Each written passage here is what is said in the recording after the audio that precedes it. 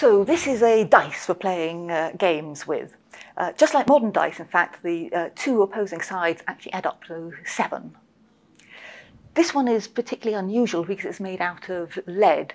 Most Roman dice were actually made out of antler from deer. So just like this one. Yes, you can see the paler colour makes the numbers stand out uh, a lot more than the lead example.